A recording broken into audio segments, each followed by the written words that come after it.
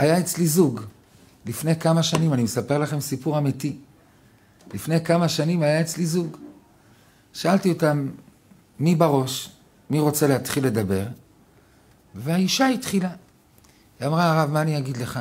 הוא לא מכבד, הוא לא מתייחס אליי. תמיד כשאני צריכה לדבר איתו הוא עייף. תמיד כשאני רוצה לשבת איתו הוא ממהר. תמי, תמי, תמי, ואני כבר לא יכולה ככה. אני אומר לנו, ומה כבודו אומר?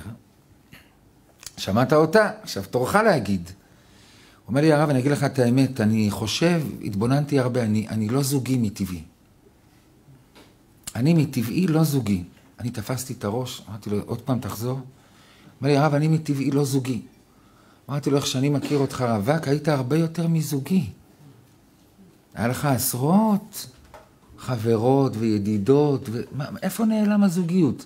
וגם הצדיקה הזאת שהקמת איתה בית, אתה חמש שנים יצאת איתה לפני כן.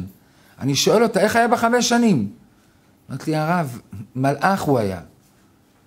אחרי החתונה גם מלאך, אבל מלאך הבלה. מלאך נשאר, אבל מלאך הבלה. אמרתי לו, תסביר לי אתה, איפה הזוגיות הזאתי נעלמה? אתה, אתה קם ומאשים את עצמך באשמה נוראה, אני לא זוגי. אני, אני לא אדם חברותי, אני אדם שלא... אין, אין.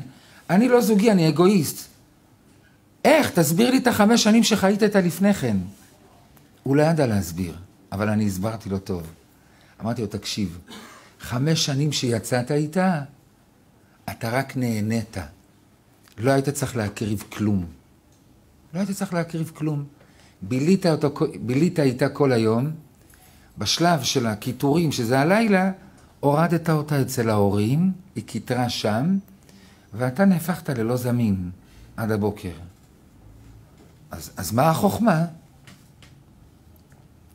לא היה לך התמודדות. היום חיי הנישואין דורשים ממך התמודדות.